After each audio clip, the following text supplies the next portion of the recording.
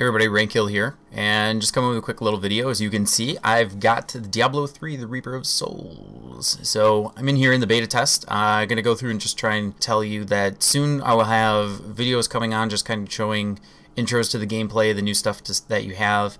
Uh, a first impressions video will eventually be coming. Um, but right now, I last night was playing until about 4 o'clock in the morning and ended up having to go to work today, but I was only able to get up to 69. So I've still got another level to go and but once I get there then I can start doing some adventure runs you know by doing bounties and Nephilim rifts then go through and start getting some gear and see what I can do about gear that's coming up. I ended up getting uh, a couple legendary items which this was probably this is the first one that I got and it's actually pretty awesome.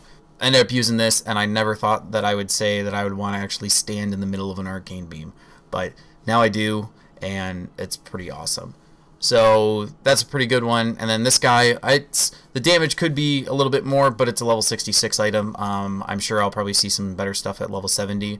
But for right now, it's kind of fun using this, uh, where every time that your fetish hits a target, it reduces the cooldown by one second. So I'm depending on the minions that are on the screen, um, you can actually get it pretty close to being a continuous having a fetish army up all the time. So it's pretty awesome and uh, lots of fun to have that.